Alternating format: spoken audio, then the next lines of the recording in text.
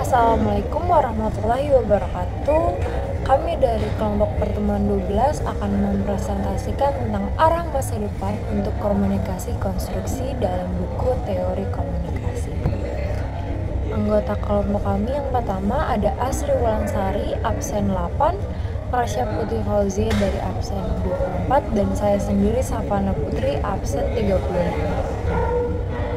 Pertama, latar belakang pada 1950-an, komunikasi bisnis fokus pada interaksi tatap muka.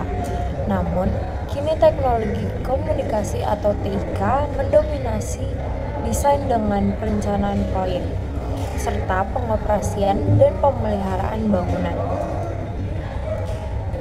Selanjutnya, pemanfaatan TIK dalam industri konstruksi.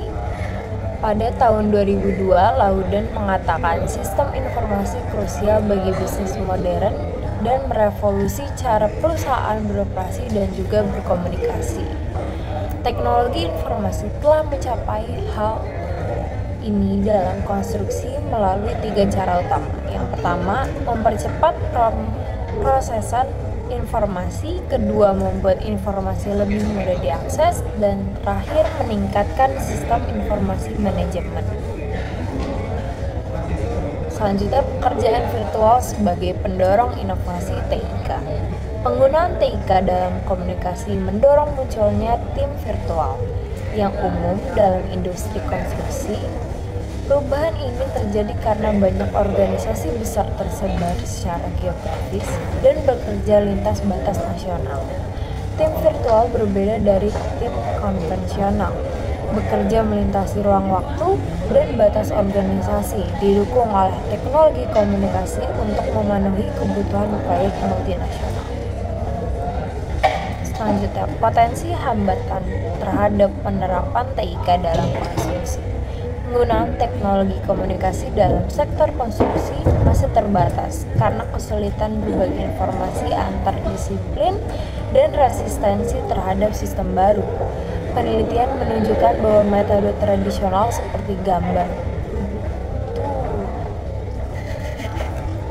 dua dimensi. Potensi hambatan terhadap penerapan TIK dalam konstruksi Penggunaan teknologi komunikasi dalam sektor konstruksi masih terbatas karena kesulitan berbagi informasi antar disiplin dan juga resistensi terhadap sistem baru. Penelitian menunjukkan bahwa metode tradisional seperti gambar dua dimensi dan pertemuan langsung lebih umum digunakan daripada teknologi modern. Menyadari potensi TIK di masa depan perkiraan ICT berdampak pada kecepatan dan efisiensi dalam berkomunikasi. Morris Law menyatakan bahwa kekuatan komputasi akan berlipat ganda setiap 18 bulan hingga 2 tahun.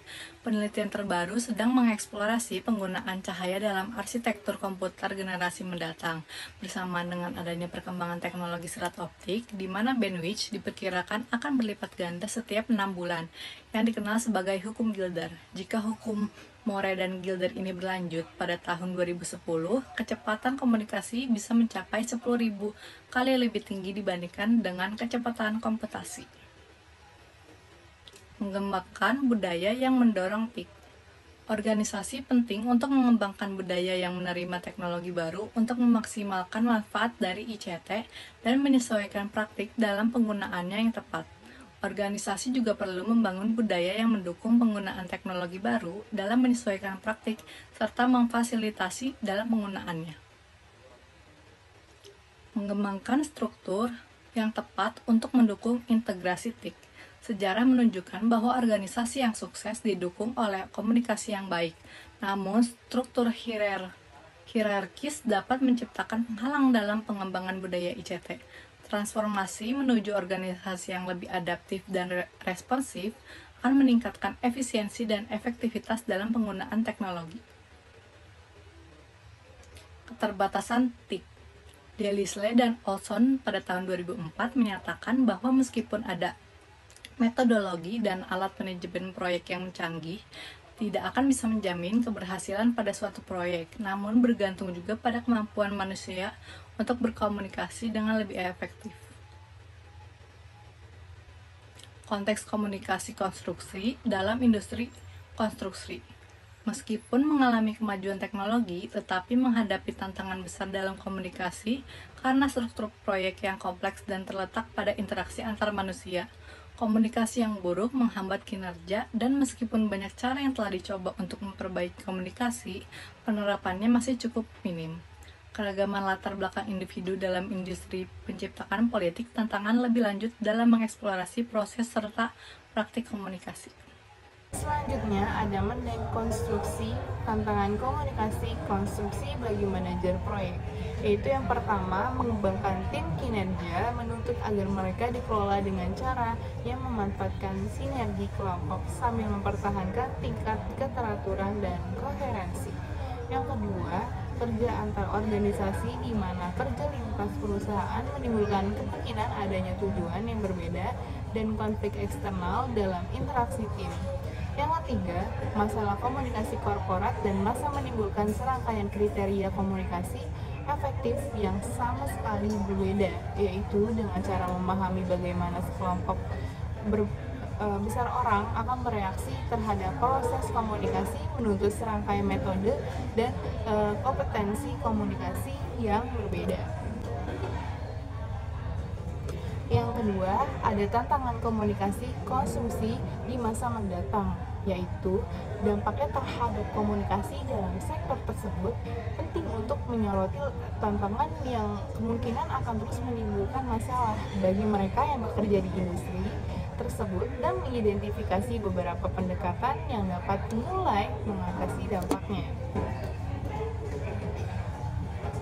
Yang terakhir ada globalisasi, yaitu ekonomi yang tumbuh pesat seperti industri konstruksi Tiongkok menawarkan potensi pasar yang besar bagi perusahaan perusahaan Eropa yang ingin berinvestasi untuk mencoba memanfaatkan namun memanfaatkan pasar-pasar baru menghadirkan tantangan e, komunikasi yang serius ini tersa, ini termasuk kayak misalnya kesulitan menyediakan keterampilan bahasa dan pengetahuan pengetahuan budaya yang diperlukan bagi karyawan mereka untuk hmm, dapat berkomunikasi di lingkungan yang tidak dikenal menuntut jalur komunikasi yang kuat bagi mereka yang mengelola proyek-proyek di berbagai negara untuk menjaga kontak dengan organisasi di tempat mereka bekerja.